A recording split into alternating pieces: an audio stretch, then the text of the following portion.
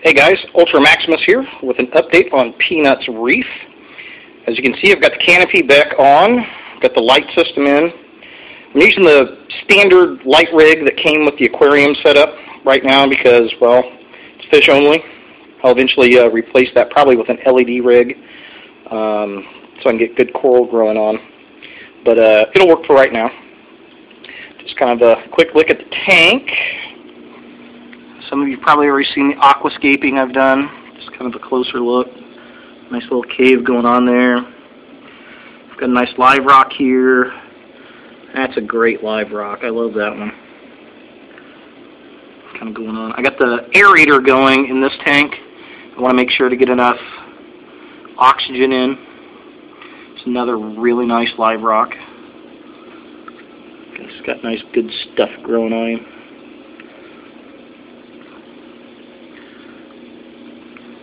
There's a live rock back there.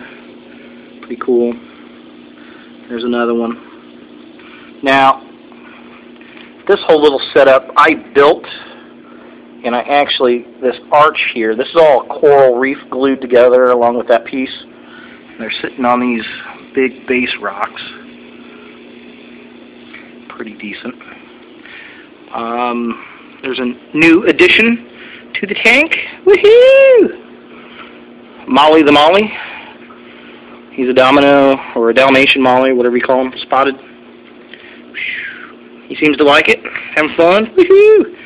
I used to use uh, mollies a lot to help cycle uh, saltwater tanks. I like mollies; they're not aggressive, and if you want to take them out of the tank, they're easy to catch. Some people don't even know that they're brackish water fish, and they adapt well to uh, salt, as do monos and silver sharks and a few other fish. I did have two of them initially, but uh, one of them uh, died today, so I'm going to have to pick him up a little buddy. But he seems to like it. He's having fun. He's eating well. There's my, uh, first of all, the filter, charcoal filter for now. I'll probably replace that with a canister. My um, overflow box. Now, Mr. Saltwater Tank, uh, Mark Carrion, he uh, said, uh, well, my advice about an overflow box, don't use them. I understand why now. It's kind of a pain in the ass to get running. Uh, but I didn't have much of a choice. I didn't have a built-in on this tank. So if you go to buy a tank flat out and you want a reef and you're going to do a sump, make sure to get one that has one built in because it was a pain in the butt. I will say that.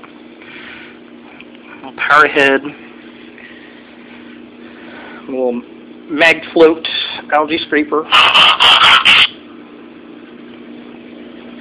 I've got two thermometers going on here. As you can see, my temperature is right in the green, where I want it to be. I've got a digital one over here. It's hard to see, but just kind of double check. Temperature's on point. And then down below, this was my biggest hurdle was this sump. I was having issues with it. I've got my macroalgae back in. I've got refugium mud and some live rock in there, and then some debris from my Reef Saver rock. Which, by the way, Reef Saver rock, if you haven't used it, definitely. It's awesome. Um, it's very sturdy. It's kind of brittle on the outer pieces, but I try to drop it to make smaller pieces onto the concrete didn't shatter like I thought it would. So it's a very stable rock, and it interlocks like Lincoln logs, man. It's awesome, and it just looks really natural.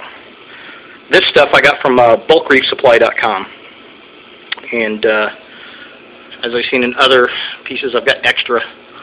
I'll probably use that on a, a BioCube. I think I'm going to make a predator tank with a lionfish, maybe an eel.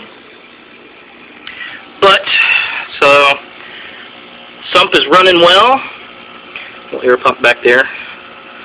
Got my specimen tank to drip uh, fish in, which is nice. You take this little puppy, put your fish in with the aquarium water or the uh, pet store water, run a air tube, and um, siphon into it, and then create a, a, a small knot to kind of start looping, and then you can overflow this water out to get the aquarium or the uh, fish pet store water out, so it's nothing but your aquarium water. Um, great way to acclimate your fish. So we got that running, that's going good. I got my little protein skimmer going. I've got my return pump. Now I marked it with some masking tape um, to make sure my water levels weren't changing. I've been doing really well with it uh, all night. I'm happy because that took forever to get running right. And I've also been using this light here, some uh, Kent Marine Purple Tech, and uh, the whole point to this is to get a purple coralline and green uh, calcareous going, macroalgae stimulator. So we'll see how that works. Now on my return pump, because this thing, this pump right here, this thing was going nuts, man. It was sucking the water out. Just to come back around and show you, here's the back of my rig. I had to put a secondary control valve in, and I had to slow the amount of water coming back into the tank itself. So, because otherwise the pump was just draining the sump dry. Rather than taking it all back and messing with it, I spent about six bucks and installed that. Now, on my water pumps, or my, my water rig, I've got a one inch uh, tube running. These control valves are three quarter inch, and then I've got the uh, half inch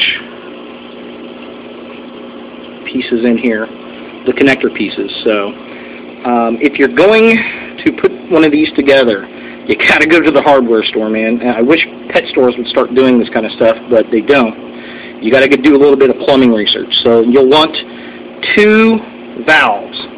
Make sure you get one on the in, intake from your overflow box so that you can shut it off if need be and uh, keep your suction. And you can also control that. And then put one on your return pump so you can control that too. And it just takes playing with it. It took me about 20, 30 minutes to get it rolling. But one inch tube seemed to work really well. Got the three quarter inch uh, T-valve. And then you had to get an adapter piece, which you can kind of see. It screws in right here. And then it just kind of goes up. I used a little bit of plumbing tape to make sure nothing leaked. It's been running great. I like it. I'm happy finally. Tank is uh, relatively stable for being so new. I can't wait to see it evolve and get a little bit more mature. Thanks uh, to the guy who mentioned uh, instead of getting a new pump, a weaker pump, just put another control valve in it. Worked brilliantly. So that's about it. Thanks for watching, guys. Enjoy your reef tanks. Have a great week. Enjoy your weekend. And I'll keep you updated. Later.